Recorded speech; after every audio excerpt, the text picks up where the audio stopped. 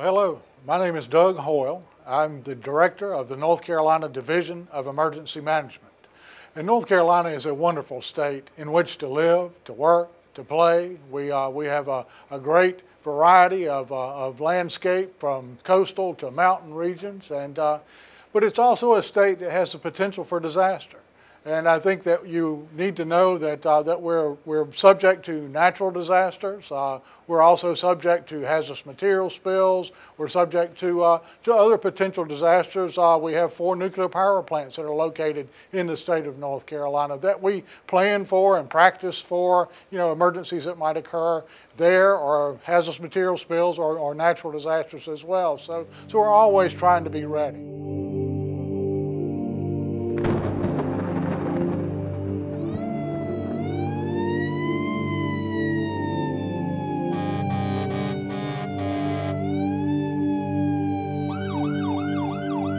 On April 16th, North Carolina was affected by a series of 25 tornadoes that touched down and did significant damage to our state.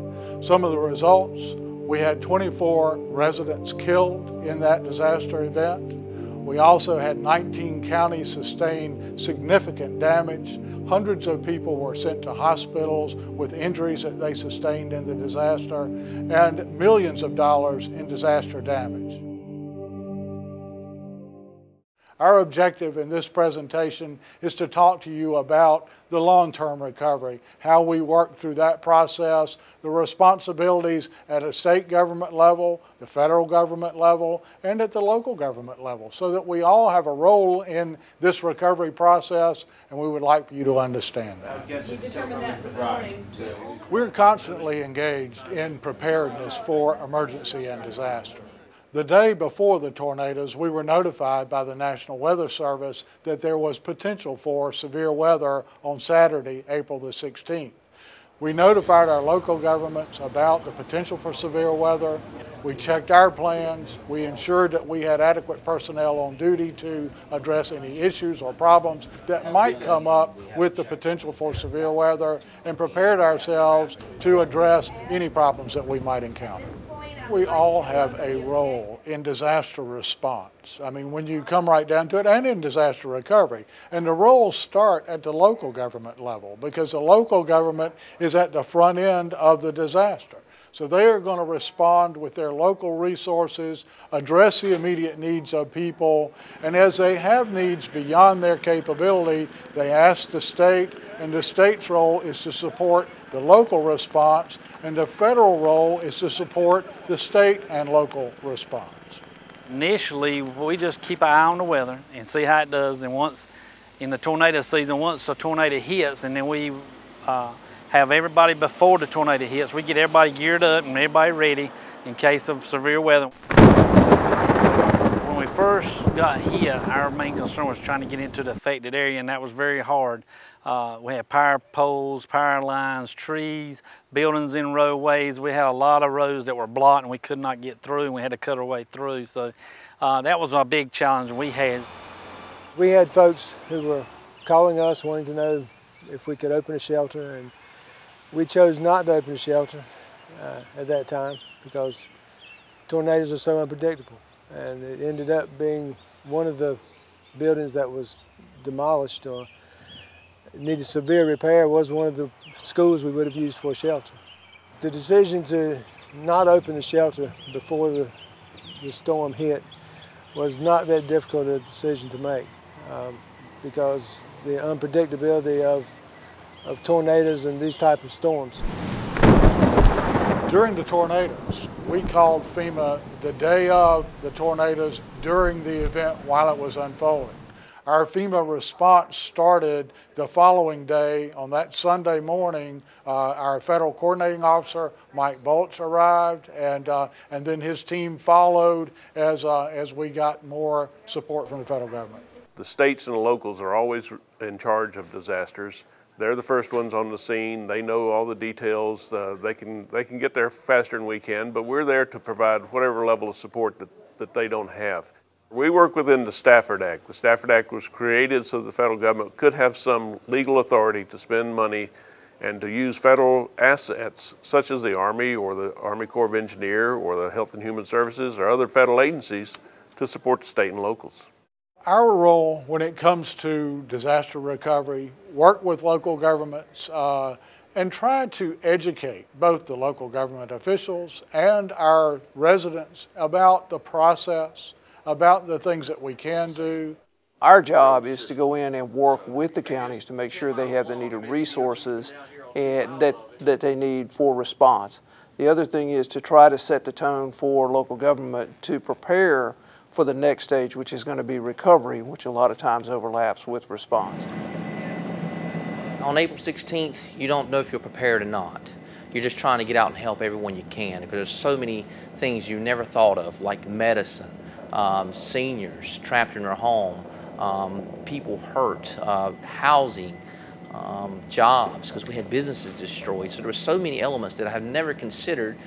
I can honestly say, after I saw the disaster and wondering and look at how the federal, state, and locals work so well together, that I was tremendously satisfied with what I saw. As of course, you know, Bertie County had the largest, uh, the largest deaths in that particular community, and most of it was was family connected in some way. Oh my God. That's me and my husband. They are still uh, mourning the mothers, the wives, and whomever they lost. It's been hard because in, in the other other uh, uh, disasters that we've had, we have we have had no loss of life, and it's it's affected our community greatly because you know, that's something that we're not used to dealing with, and um, it's, it's friends and family, and there, there's a lot of. I guess that's made this this effort, this this tornado uh, disaster, I guess worse in the eyes of most people than, than the other disasters that we've had because we had that loss of life. Our community doesn't embrace help as quickly as you think they might would ordinarily. People have a tendency to go to family and friends instead of, for instance, using the shelter. The shelter was there, but people were not staying there. State and federal programs are really designed to address the basic needs of our disaster survivors and to try our very best to help them get back on their feet. It's not going to fix everything. There will be problems and there will be things that we have to address. FEMA is there to provide any assistance that, fits within the legalities of the Stafford Act. And so if they have some need that they haven't been able to fulfill themselves or through the state, we can discuss it. And, and there may be some other mechanism to cover it or there may be something else we can do. In North Carolina, we work with every component of the recovery process.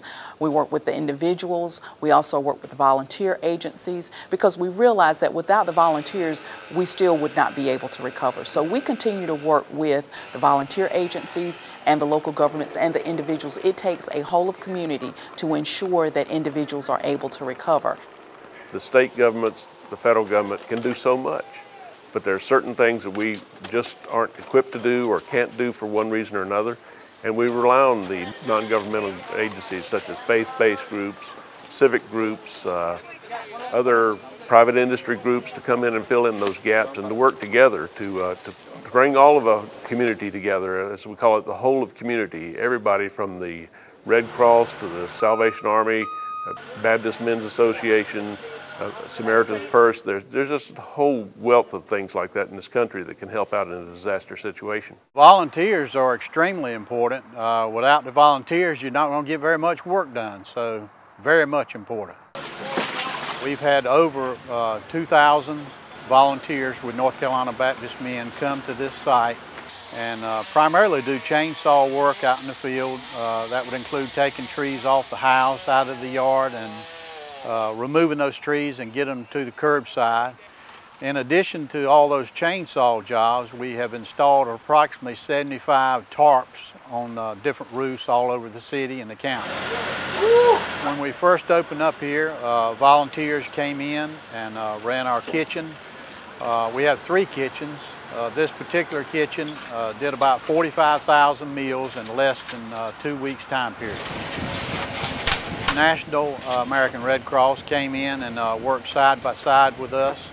uh, and getting those meals out to the field. Planning is the key to any um, effective response or effective recovery program. And I think we sometimes don't think about our plans until we have a large event. And that definitely is not the time to be looking at a plan. When you go through a situation that we went through in April, it does bring a community together. And so we were able to come together, and I think through this whole process in the state of North Carolina, we'll all work on solutions to make it better. Success in any disaster response requires a teamwork effort from all sectors of our community. It's not just a government response, but it's citizens' response, it's volunteer organization response, it's all of us working together as a team. We practice, we plan, we prepare for disasters, and we do that as a team so that when real events occur in the state of North Carolina, we're able to come together, all sectors, working as a team, trying to deliver the service that needs to be delivered or trying to help our citizens recover from this disaster.